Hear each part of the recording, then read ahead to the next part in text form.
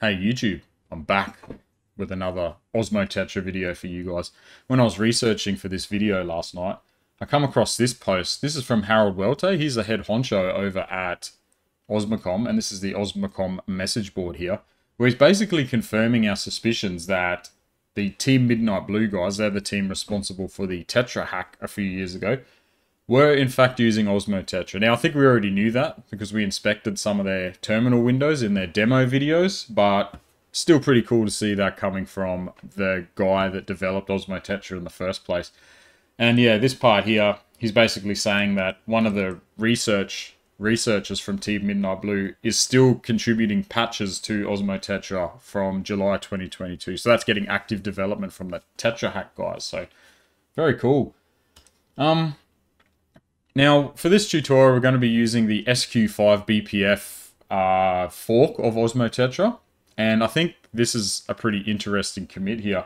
Send information about the network encryption flag and types of encryption seen on the network. So this is not going to break Tetra encryption, obviously, but it is going to try and pass encrypted packets and display information um, about the encrypted flag on the frames, I'm guessing. So that's that's pretty cool. So we're going to be using this.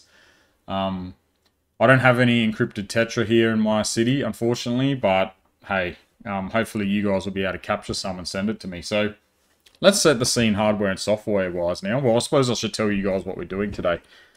We're going to be capturing Tetra data to a C file and decoding it later with the um, decoding tools. Now, this is going to be handy for me because I put the call out there a few or a few days ago, well, kind of last week, really, saying that I'd like to grab some encrypted Tetra and have a look at it. Um, I'm not going to try and do anything naughty with that data. I just want to have a look to see what encrypted packets look like once they're decoded with the tool. So, yeah, we're going to be doing that. Um, as you can see here, I'm using Dragon OS LTS Final for this, and the reason for that is this tool here is actually pretty old now at this point, and one of the old C file demodulating Python applications only works in Python 3.7, whereas the new Dragon OS Focal X and Noble, I think, have Python 3.10.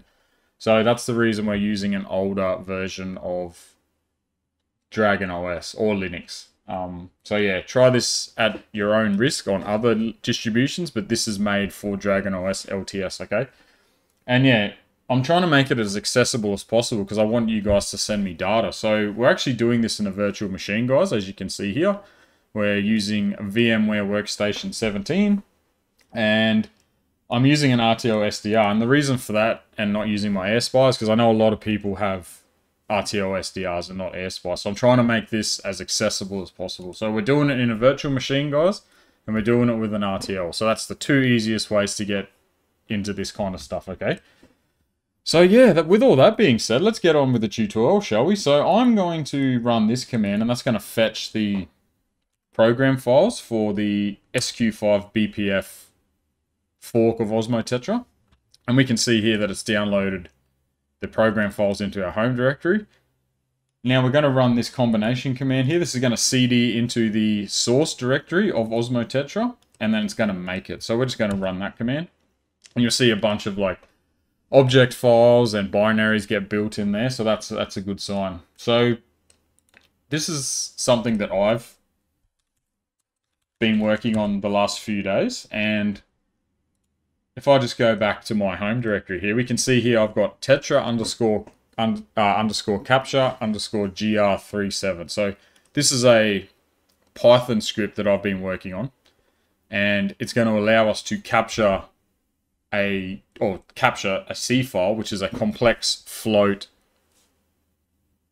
file. Is it complex float? Yeah, complex float 32 file, which is basically an IQ recording of tetra signals as received by an SDR, okay? So I can just run this command here.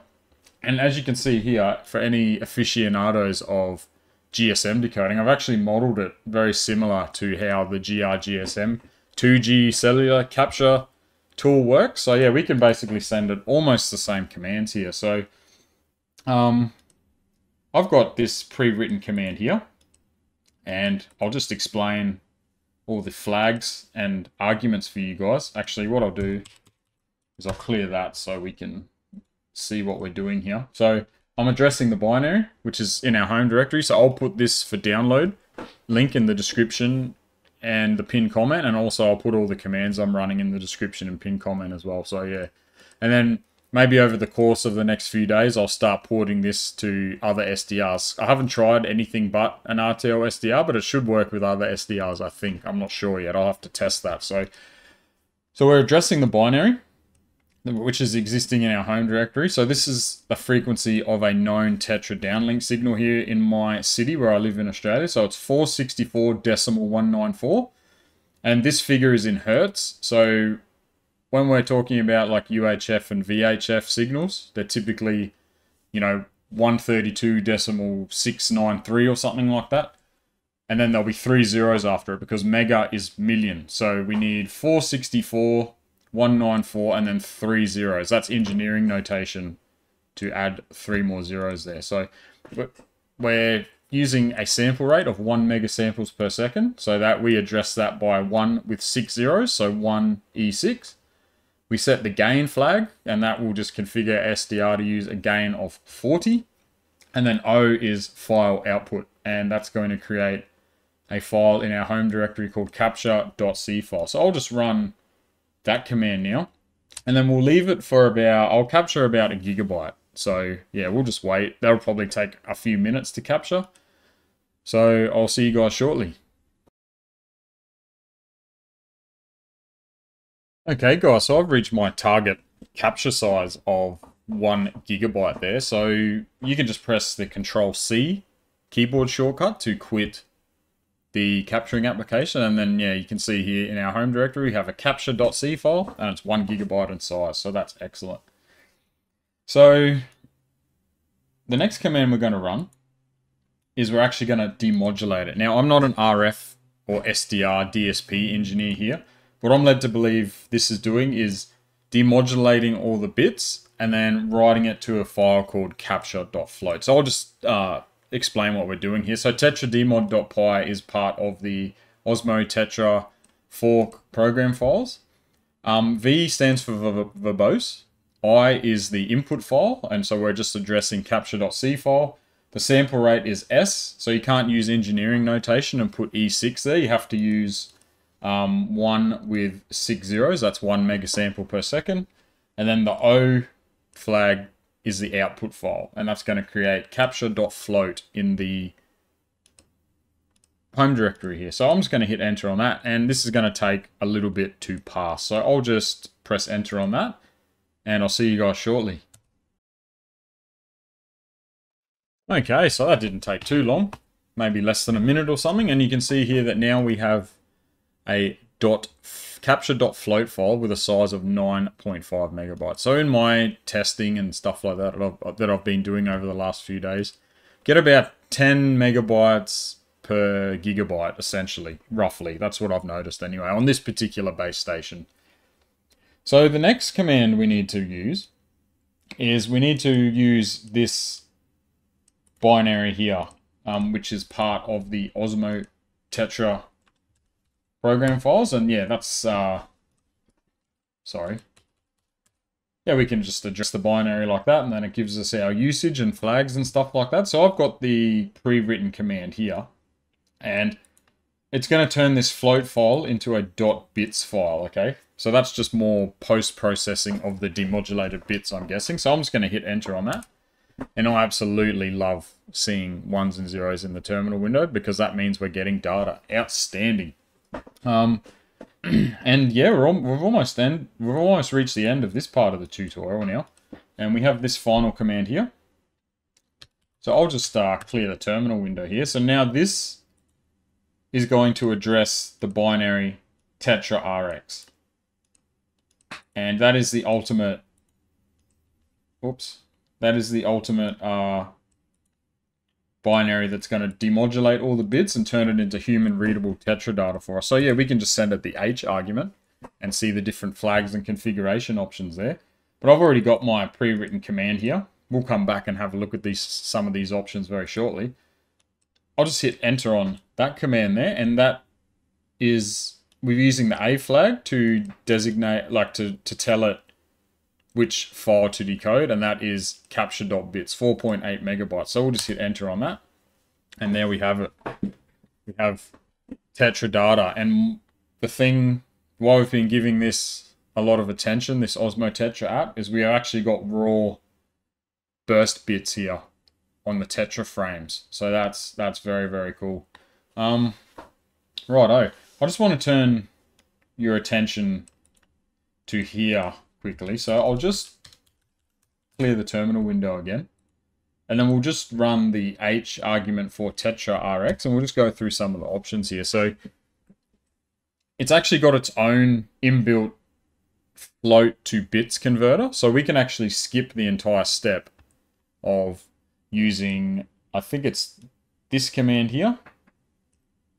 Yes, we can skip that command there, right? So because we can send it the I argument in addition with the A argument and it will use its internal float to bits. So I've got this command here where we're going to actually skip the step of float, turning it from the floats, a float file into a bits file here.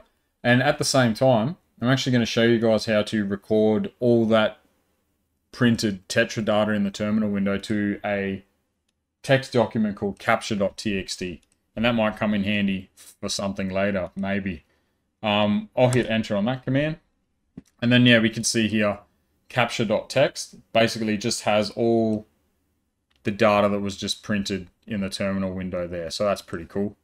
Um, what else? So let's go back. The video is basically over now, guys. So let's go back to this command here. Something that's interesting to me is this E argument here, right? I'll just read it out for the people who are listening and not watching. The E argument allows passing of encrypted packets.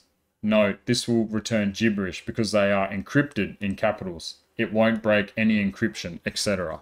Okay, so that's basically why I want to grab some encrypted tetra data from somebody else out there that has access to that because I just want to see what this E flag does. I want to see what the what the data looks like and if um, this fork of Osmo will actually identify encrypted packets in the terminal output, like here.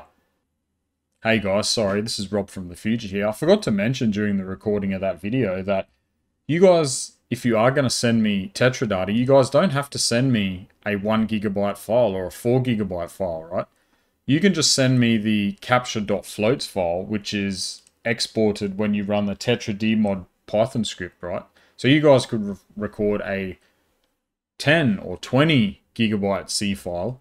And then if you just run that command there and turn it into a capture.float file, you can just send me the 50 megabyte file as opposed to sending me 20 gigabytes. Does that make sense? So yeah, just thought I'd mention that to you guys. So yeah, I'll leave you to go head back and continue watching the video. Bye.